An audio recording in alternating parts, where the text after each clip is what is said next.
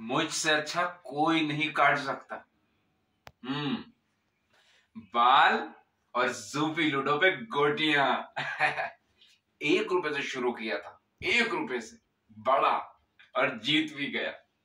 और जीत का पैसा यूपीआई से निकाल भी लिया। झट से।